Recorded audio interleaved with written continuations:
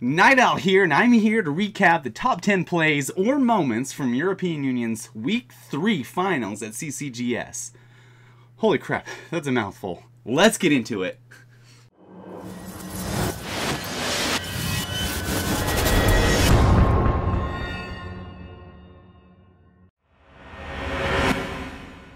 Play number 10 between Soaking and Icelaw. An epic battle throughout, of course.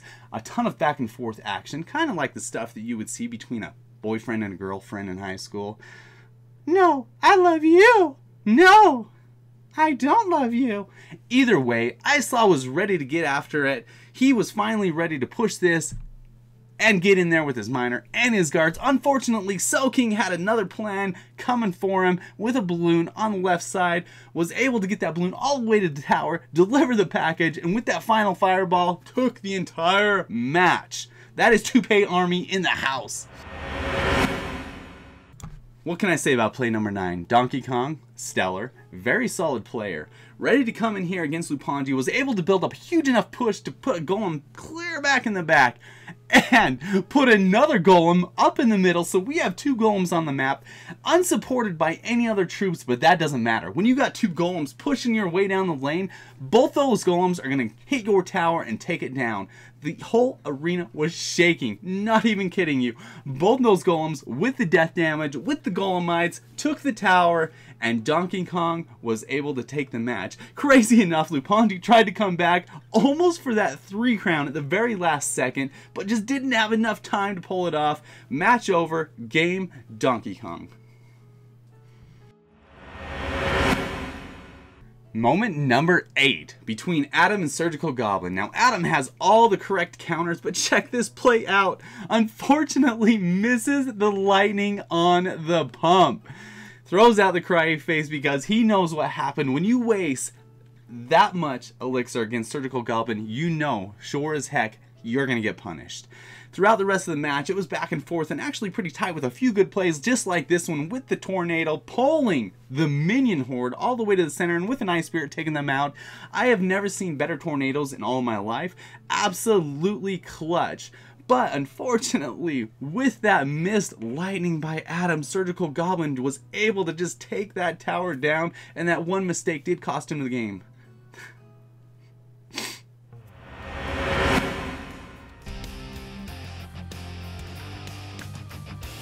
You know, in chat, I think I noticed a new card in that last match. Marino 14 pointed it out for me in chat. Did you see the bike goblin in that last one? The bike goblin? Yeah, there was a goblin riding a bike through a, uh, a little like, it, you know? a little park there. Yeah. Oh, oh was it? Oh yeah, he had, he had, a red shirt on. He, he said he likes to make uh, YouTube videos. I think I did see that. Yeah. I mean, it's going to be interesting. Maybe a little sneak peek there. Maybe Clash Royale was doing a little sneak peek yeah, action at the new card. Very fast. How fast can they go on a bike though? Just go straight for the tower.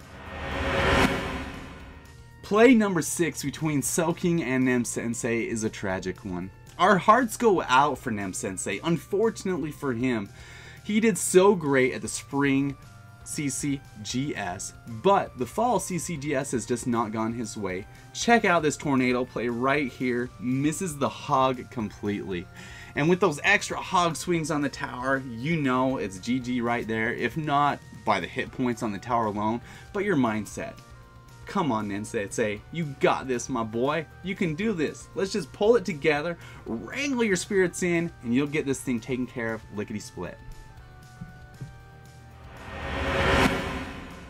Play number five brought to you by our good friend Baron and Donkey Kong. Baron hailing from Germania, Germania, Germany.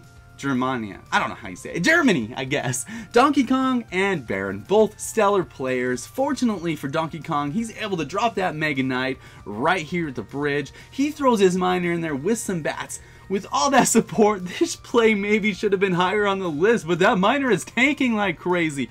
The Mega Knight's tanking, everybody's tanking, and nobody focuses on those bats. The bats are able to get in there and take that tower down. Good game, Donkey Kong. Take it down, buddy.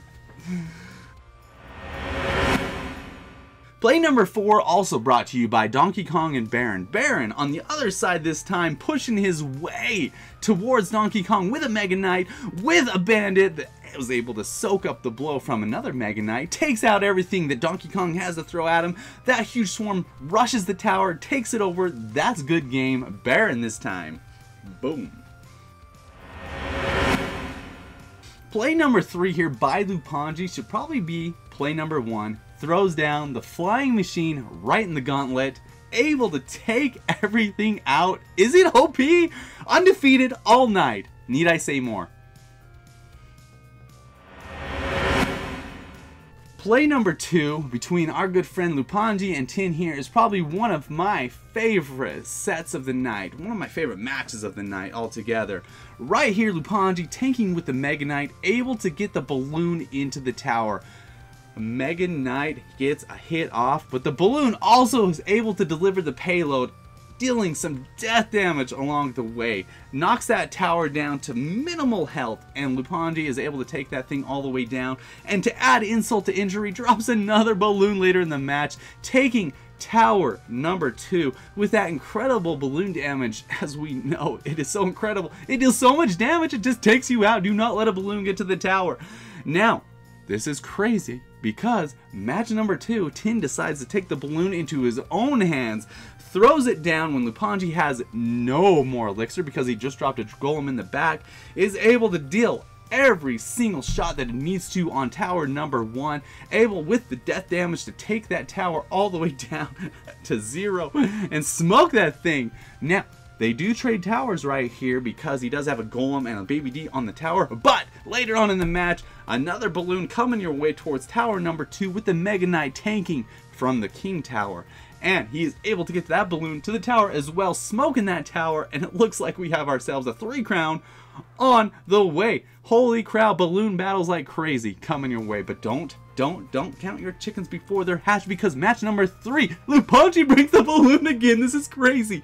He throws the balloon down, lane number one, headed towards the tower, able to get there because of the missed tornado. That's two missed tornadoes in this top 10 list. Holy cow, delivers a huge deathly bowl blow to that tower. Now, Lupanji, later on the match, is able to throw a rocket and arrows to finish the thing out, takes the entire set up on tin.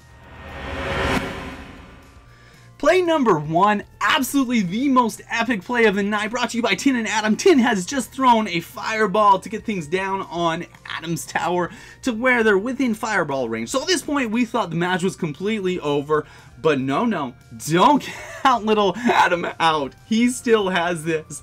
He throws a miner and he throws poison. As the fireball hits, it ties it up. That is a draw in overtime.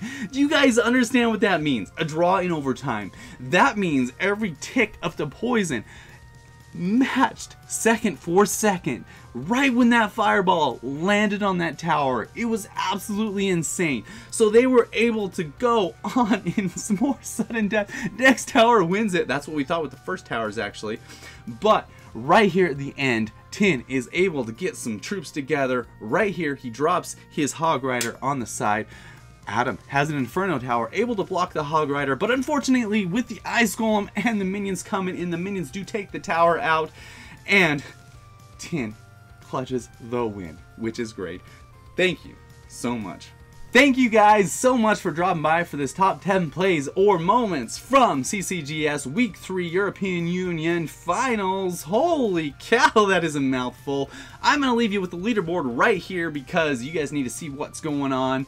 If you guys like what you saw, be sure and subscribe to the channel. Hopefully I can bring you more top 10 lists just like this one where we recap all the plays that we have seen throughout the week, or in this case, just one week of the CCGS Finals. Absolutely stellar showing by all of the people involved. They did a great job. We are so proud of them. We cheer for them. We're excited about them. We're excited for what they do for us. They're excited we're just excited, okay? We're excited for what they do for the sport. Thank you guys for dropping by the channel today. Take it easy and good luck. Hey, Enchantin, how'd you do on your third grade math test last week? You know what, Woody? Yeah? That is a great question. Thank you. 101%. Whoa, I didn't even know that was mathematically possible. Third grade math, baby.